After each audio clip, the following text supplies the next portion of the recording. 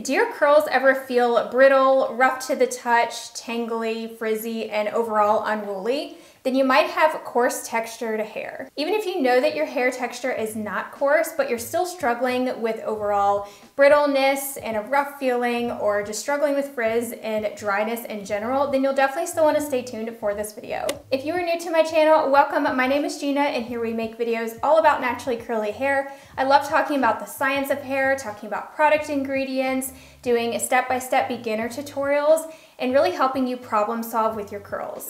So let's first start off with what is coarse hair and how can you tell if you have coarse hair? Well, coarse hair is actually a type of hair texture. Texture refers to the actual diameter of an individual strand of hair. So this is not to be confused with density. Density is how thick or how thin your overall hair is, so how many hairs are on your head. If your hair is coarse, then you can definitely feel an individual strand between your fingers. It's very easily felt. It kind of feels like it might even be thicker than a strand of thread, and you can also usually easily see it. Whereas someone with fine curly hair, they might not be able to feel a strand of hair between their fingers or they're just kind of thin and wispy and you might not even be able to see them on a surface, especially if you have light colored hair. And a fun fact about coarse curly hair is they usually have the medulla layer. If you didn't know, our hair is made up of multiple layers. You have the cortex on the inside layer and then you have the cuticle and there's some other layers in there. But not everybody has this medulla layer, which is actually the innermost layer, which is inside the cortex. I actually had a really fun hair analysis done by My Main Bio a couple of years ago, where they did an assessment of my hair and actually looked at it under a microscope in a lab and then gave me a full report on it. And in that, they revealed to me that my hair is 50% medium and 50% coarse textured. And they actually had photos of what the medullas look like in my hair. It's really interesting. These are like little strands or pockets within the inner layers of your hair. And so people with fine hair apparently don't really have this inner layer. That was actually one of the most surprising revelations in that report for me because I had no idea that I had coarse hair. I always assumed I had fine hair or just medium hair. Now you might be wondering, does it really matter? Well, actually texture and density and porosity are the most important things to understand about your hair because they do make a difference in the products that you select and just how your hair behaves overall. So another unique characteristic of coarse curly hair and also other types of textures as well is sometimes you'll see those little kinks within the hair. And this is where the hair strand actually changes direction or it might even kind of flatten like the actual shape of the strand. So if you think about a hair strand, how it's normally round, it will actually start to flatten or twist and bend in a different direction and that's where you get those little kink areas. So I have a video to show you of what those look like. These often feel very bumpy when you run your finger down a strand of hair. It not only feels very thick and wiry if it's coarse, but sometimes you'll also feel these little kinks within there. And that actually can cause a lot of tangles and a breakage for me personally. Anytime I have just a few hairs that are very tangled together and then I'll get them untangled or I'll look at it closely and there's a kink there. And a lot of times that's just causing that overall tangly feeling. But I've also researched that other hair types can have these kinks as well, or if you were causing too much tension on your hair from wearing your hair up very tight, then that could lead to these kinks in the hair as well. So you might be thinking, is coarse hair stronger and more resistant to breakage because it's very thick and wiry feeling? Now I didn't find any concrete research on this, but from my experience, it's actually worse for breakage for me. Now, although the hairs might not, you know, feel as weak and easy to snap as someone with fine curly hair, because of their rough and brittle feeling and texture that they have, they get tangled a lot easier and they can also snap a lot easier.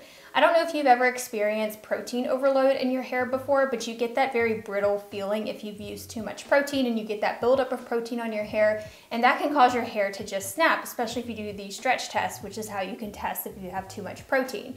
And if your hair snaps immediately, then it's too dry and it's just not flexible. It doesn't have that elasticity. Well, from my experience, the coarse areas tend to actually show more breakage, which is very odd. You would think it would be the opposite. And coarse hair can also be more prone to breakage because it's a lot drier. I've noticed this for sure. It tends to feel a lot drier. So that's what we're gonna focus in this routine is moisturizing and also just improving the softness and the feeling of the hair. So why is our hair coarse? How do we have these coarse areas on our head? And some of you might have just some coarse areas focused at your crown, which is a lot of the feedback that I got from you all when I asked you if you have coarse hair, is some of you have coarse areas, others have it all over.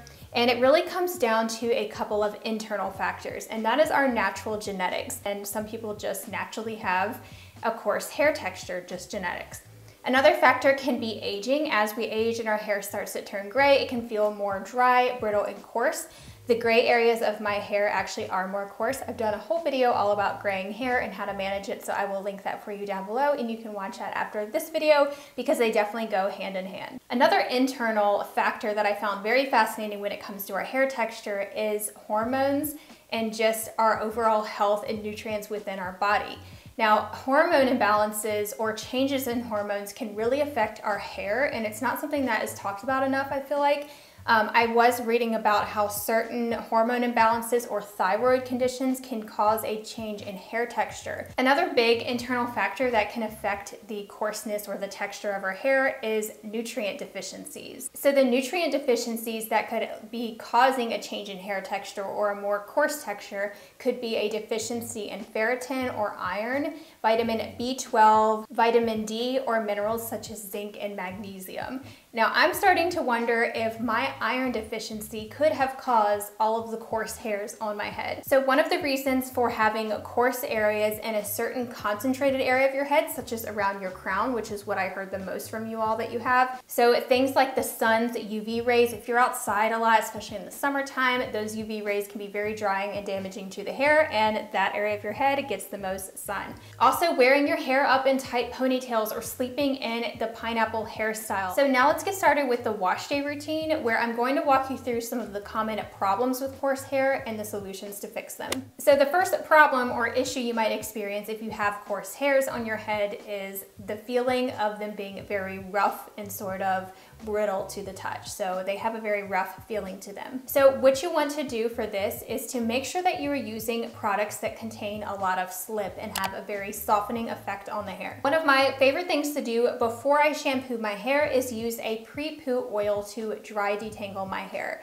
Now if you've never seen me do this, you might think I'm completely crazy because who detangles their hair while it's dry? But this actually really helps me reduce breakage. I have way less shedding and it just helps soften those coarse hairs tremendously. So I'm using this pre-shampoo oil from Flora and Curl. This is definitely one of my favorites because it instantly softens up the hair, softens up any existing gel casts in my hair to where I can more easily detangle. So you'll want to do this prior to shampooing your hair when it's still dirty. I like to do this in sections so I can gently finger detangle my hair and I usually do this about 30 minutes prior to hopping in the shower, or I will even do it the night before.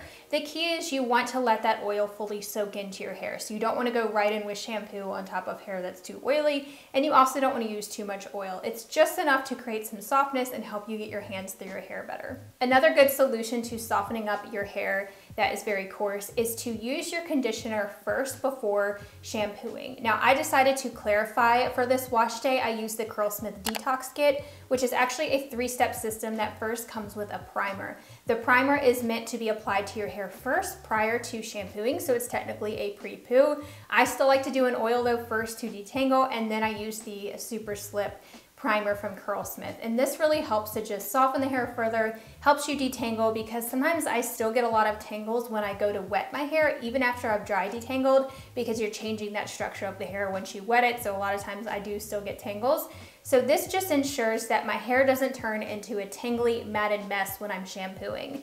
First of all, your shampoo should not be causing a matted mess in your hair, then it might be too stripping. But second of all, especially if you have coarse hair, you want to avoid that tangled matted mess when you're shampooing so you would want to first detangle your hair, get rid of all those knots, and then shampoo. And you'll notice how much easier it is to shampoo your hair and to clarify your hair. It's not near as stripping on the hair. So I use the Curlsmith Detox Shampoo Scrub, which is a really nice exfoliating scrub on the scalp. I usually use this about twice a month, especially if I have it build up on the hair. This just helps remove it perfectly, and it doesn't leave my hair feeling stripped as long as I use that primer first. So another reason why I wanted to clarify for this routine is buildup is another common problem with coarse hair. So because coarse hair is already thick and already has that brittle feeling, when it gets buildup, it's definitely very noticeable. Now you might be thinking, I thought fine hair gets buildup more, and it definitely does, but for me personally, I've noticed that any type of buildup on my hair just feels so gross in areas where I have coarse hair. It just feels even more sticky and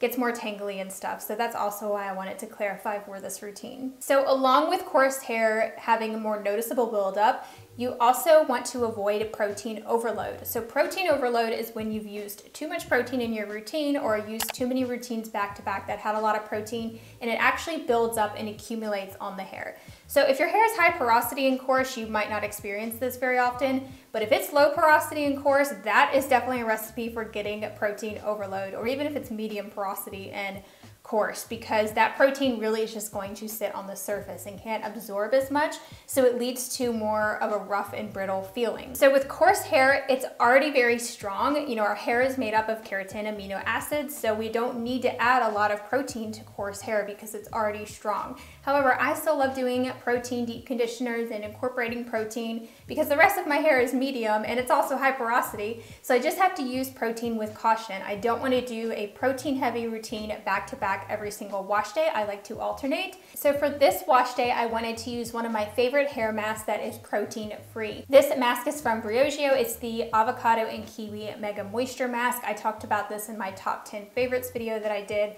for my 2021 favorites, but it's a really great deep conditioner at softening the hair, which is why I wanted to include it here. I have other deep conditioner recommendations as well that I will list for you on the blog that goes with this video, along with other products that I recommend for coarse hair. But this one in particular is extremely softening. Your hair should feel soft and moisturized when you rinse out your deep conditioner. If it doesn't and it just feels brittle, then it wasn't moisturizing enough or you have buildup on your hair that's blocking it from soaking in. So our next problem with coarse hair is coarse hair is often a lot drier, as I mentioned previously. So we need to focus on very moisturizing products products that contain lots of softening emollients or oils.